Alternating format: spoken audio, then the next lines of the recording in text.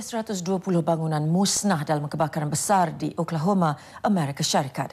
15 kawasan kebakaran dikesan setakat ini membawa kepada hampir 13,000 hektar tanah musnah.